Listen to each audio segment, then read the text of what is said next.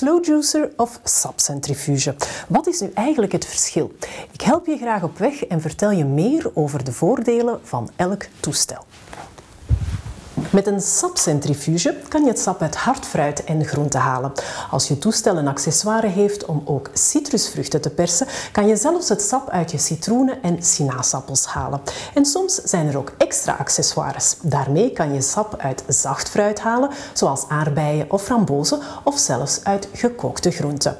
Met een slow juicer aan de andere kant haal je sap uit vrijwel alle soorten fruit en groenten, zoals appels, peren, sinaasappels, wortels of spinazie.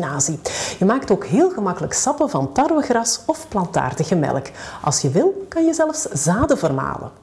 Of je nu een sapcentrifuge hebt of een slow juicer, fruit en groenten met een dunne schil moet je vooraf gewoon wassen. Fruit en groenten met een dikkere schil schil je beter eerst. Snij alles daarna in stukjes. Sommige toestellen hebben een extra grote opening waarin je hele grote stukken fruit kunt gooien. Niet alleen de soorten fruit en groenten die je kan persen met een sapcentrifuge en een slow juicer zijn verschillend. Ook de werking en de voordelen van beide toestellen zijn erg verschillend. Ik geef je een kort overzicht. De slow juicer werkt langzamer om zoveel mogelijk sap en pulp uit je fruit te halen, terwijl vitamines en mineralen bewaard worden. Door de trage beweging warmt het sap niet op en behoudt het alle goede voedingsstoffen. Een sapcentrifuge is sneller, maar warmt het sap wel op, waardoor je bepaalde vitamine en mineralen verliest. Voor evenveel fruit moet je bij een sapcentrifuge rekenen op 30 seconden tot 1 minuut. Bij een slow juicer kan dat oplopen tot 2 minuten.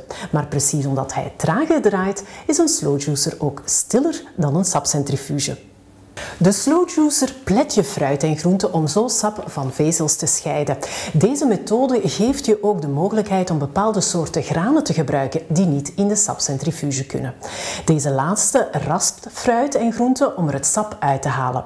Het residu bij een slow juicer is erg droog, net omdat de ingrediënten geplet werden.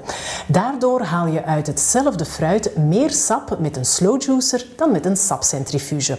Het sap van een slow juicer is homogener omdat pulp en sap gemengd zijn in je glas zonder schuim op het sap.